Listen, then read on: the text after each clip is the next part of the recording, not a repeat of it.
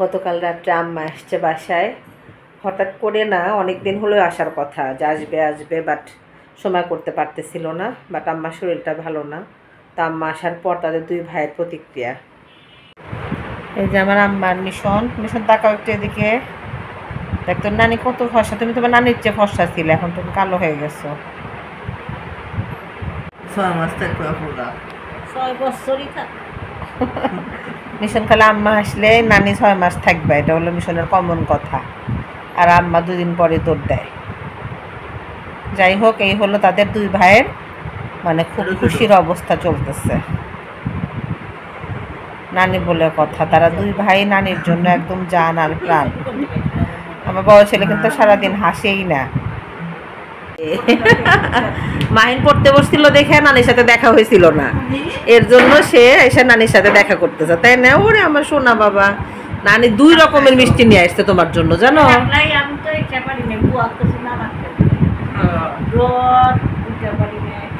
দেখছ? যাও নানি মিষ্টি নিয়ে আসছে মিষ্টি খেয়ে আসো যাও। ওরে আমার সোনা।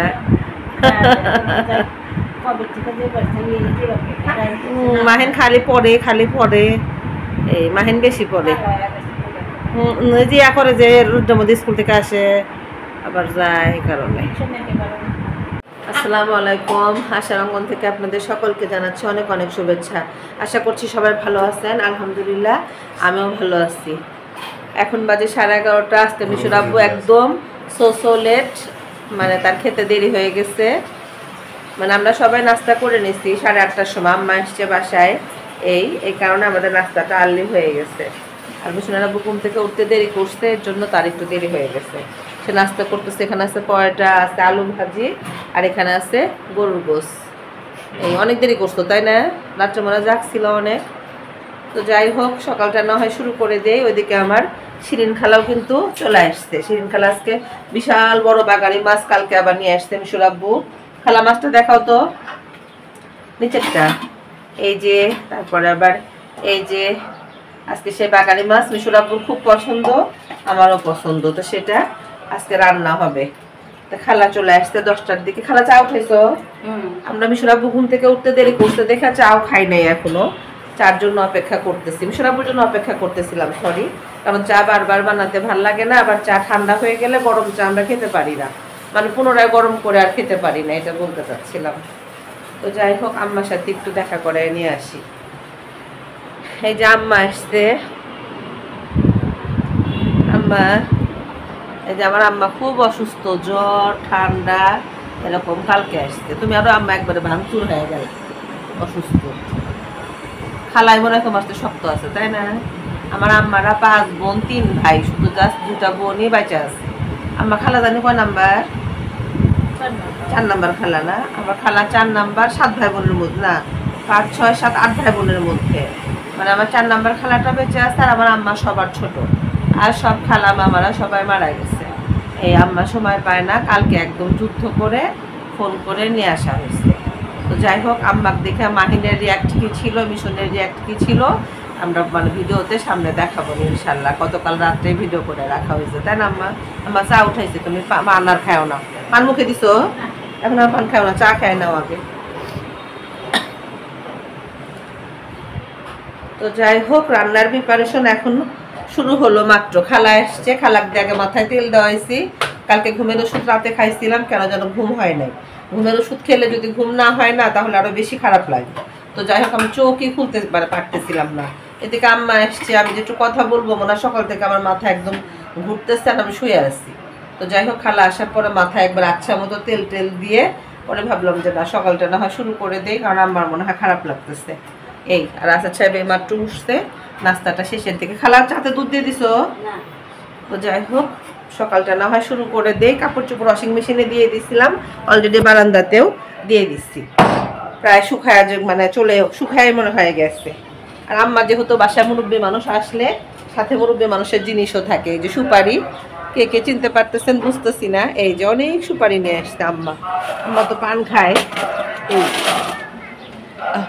আম্মা সাদে দিব নাকি? সাদে দিলে মনে হয় ভালো হইতো। ঘর বাড়ি কিচ্ছু গোছানো হয় না। এখন আস্তে আস্তে গোছাবো ইনশাল্লাহ। দেখা যাক। বড় ছেলে স্কুলে চলে গেছে ছোট ছেলে। একটু পরেই চলে যাবে ইনশাল্লাহ। আব্বার সাথে মাহিনে একবার কার্বন কপি আম্মা, সবকিছু। এই যে আমরা সবাই চা নিয়ে বসছি। খালা যে তোমার চাটা, শেষ করো যে, এই যে, রান্নাঘর আমার এই যে, রান্না করার সময় এরকম হয়, পরে আবার গোছানো হয়ে যায়। নো টেনশন আর এখানে যে মাহিন, মাহিনের আব্বু, এখানে হলো আম্মা, আর আমার মিশন নাই। বাসায় থাকলে কালপাড়ির বাসা না থাকলে মনে খালি খালি লাগে। আর লাগে না। মাহিন তো গাল শোনেন না, তাই না? মাহিন হলো চালাক।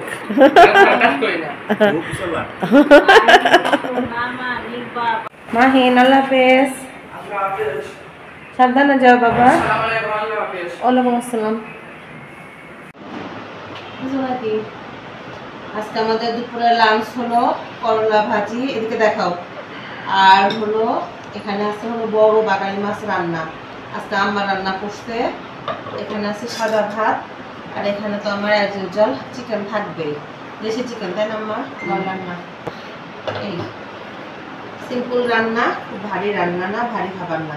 আজকে ডাল রান্না করা হয়নি।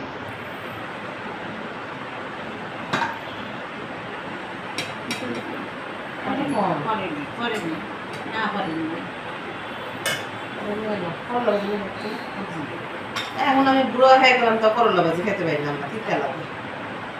মানুষ পারে, তাই না? আমি নিতেই পারি না। সবার পিছনে পড়ে গেছে। আমি আর আম্মা খেয়ে নিছি, মিশন আগে খেয়ে নিছে মাহিনী স্কুলে। আমার রুটিন মাফিক বলতে খুব ভালো লাগে। আমি গোছানো মানুষ তো, এর জন্য সব কথা গোছায় গোছায় বলি। তোমার করলা ভাজি মিশরাবু পাশে। যদিও ডাল রান্না করা হয় নাই। আর এখানে যে তোমার সে বাগানি মাছটা এত মজা ছিল তা বলার মতো না।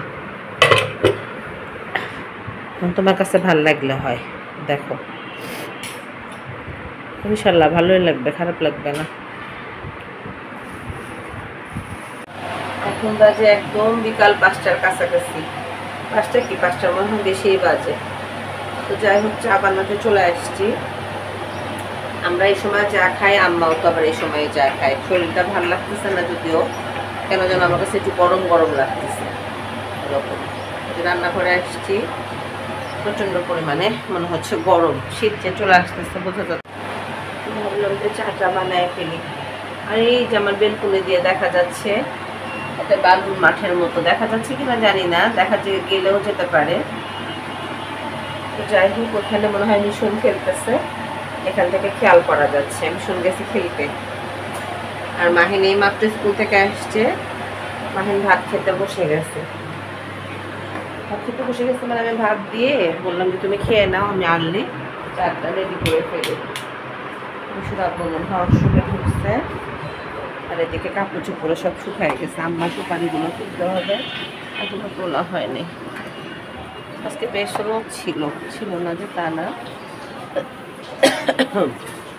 কাপড় চোপড় যা যা দেবার দিয়ে দিয়েছিলাম। আর এই যে আম্মা সুপারিগুলো তুলতে হবে। আমার মনে হয় আমি মনে হয় জীবনে পান খেতে পারব না। আল্লাহ না খাই তাই ভালো পান খাওয়ার যে জ্বালা। চার জ্বালাতে বাঁচতেছি না আবার পানের জ্বালা। আম্মা তোমার সুপারি দেখে আমি মনে মনে বলতেছি যে আমি আমরা জীবনেও পান খাব না। বুঝছ তোমার মতো। অল্প বয়সে পান খাওয়া শিখে এখন কি অবস্থা? পান ছাড়া। আমার আব্বা কিন্তু পান খায় না। আমার আব্বা কোনো কিছুতেই ইউজ টু না। এই আম্মা একটু শিখ আম্মার অনেকদিন হলো একটু একটু করে জ্বর আসে। সারের দেন আম্মা জ্বর আসে, আবার কমে। এরকম মানে পুরোপুরি ভালো হচ্ছে না। থাক আম্মা, আমি চা শেষ করে এসে ভাজ করব নি। আম্মা একটু শুয়ে আছে। ভাবলাম যে আমি চাটা না হয় রেডি করে ফেলি। রাতের খাবার দাবার চিকেন আছে। খালা ভাজি করে দিয়ে গেছে যেখানে আম্মা তো রাতে রুটি খায়। এখন যে যা খায়।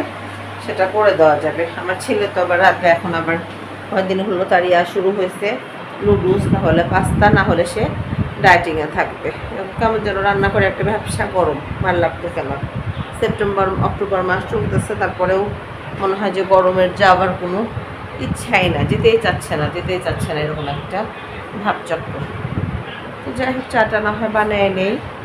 এই আর কি বলব? কি যেন একটা কথা বারবার বলতে চেয়ে মুখে আটকে আসতেছে বলতে পারতেছে না।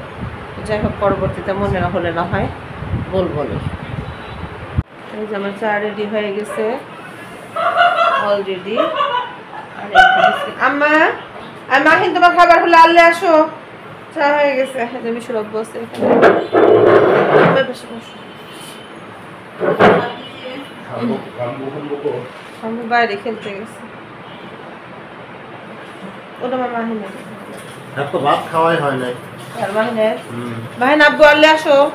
এই যে আব্বু অন্ধকার লাগতেছে না ভিডিও অনেক অন্ধকার লাগতেছে।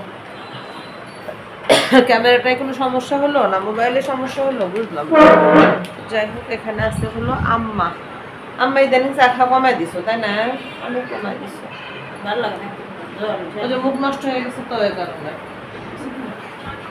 যাই হোক বেটির টাইম চলতেছে। কেউ বিস্কুট খেতে চাচ্ছে না। ছোটবেলায় কি ছোটবেলায় বলতেছে ছোট দিনে মানে দেরি করে ভাত খেলে বিকালবেলা দেখা যায় যে আর কিছু খেতে ইচ্ছা করে না। এই ক্ষুদা লাগতে লাগতে সেই আটটা নয়টা।